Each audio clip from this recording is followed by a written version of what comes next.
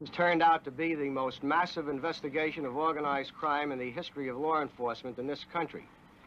We have pierced the veil of all of the five organized crime groups in the city of New York. We broke their summit headquarters by having a bug placed where they met last April, which has been functioning since that time.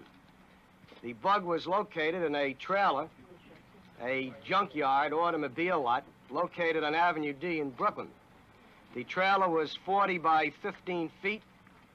It was ringed by a 14-foot fence with barbed wire at the top, guarded by two vicious German shepherds, as well as an individual who watched it through the night. The surveillance of the yard included the taking of color movies, more than 36,000 feet of color movies, 54,000 still photographs, 1,620,000 feet of tape from the electronic bug, and 21,600 feet of tape from wiretaps. This is the trailer, which was the summit meeting place of the organized crime figures throughout New York City, Nassau, Suffolk, Westchester, and Rockland counties. Ed, watch it. Watch yourself. Here's the bug. Watch it. Watch it. How did you get it in here? Mr. Gold, Here's the bug. How did you get it in here?